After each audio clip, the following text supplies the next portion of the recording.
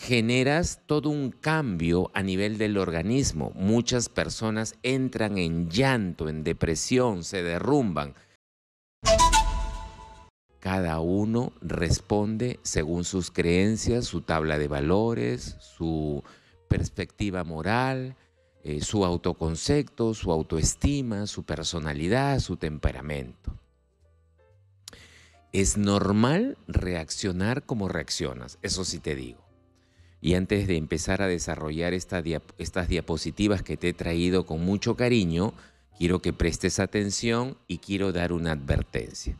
Si estás pasando por un momento de infidelidad, quiero que todas estas diapositivas te hagan reflexionar y que no te lleven a una pelea con tu pareja, que te hagan reflexionar. Cuando uno descubre una infidelidad, el organismo reacciona. Generalmente se acelera el ritmo cardíaco. Eh, hay una mayor irrigación de sangre por todo el ser humano. Por otro lado, hay agitación motora, hay sudoración, hay nerviosismo exagerado, hay momentos en que quedas perpleja, perplejo, te quedas como sorprendido, es como un baldazo de agua fría. Generas todo un cambio a nivel del organismo. Muchas personas entran en llanto, en depresión, se derrumban.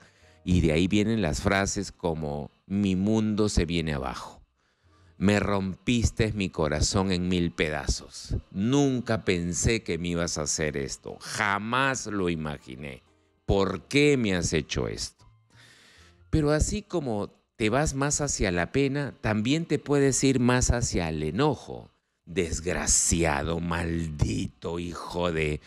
Ya tú sabes, ¿no?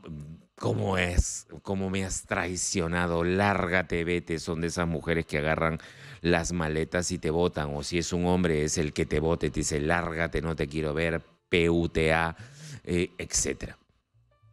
Te vas hacia el enojo. O a veces quedas perpleja o perplejo. Es decir, a veces simplemente no sabes qué hacer. Entras en una incertidumbre. Algunas personas encuentran la infidelidad y no lo dicen. En este grupo están más las mujeres encuentran una infidelidad y siguen mirando al marido, el marido le dice, ¿qué tienes? ¿Por qué me miras así? Y ella dice, no te voy a decir nada hasta conseguir pruebas. No te voy a decir nada hasta que esté muy segura. Es más, quiero conocer con quién me engañas, quiero tener más datos. Las mujeres, estadísticamente, son las que acumulan información para obtener un mejor panorama.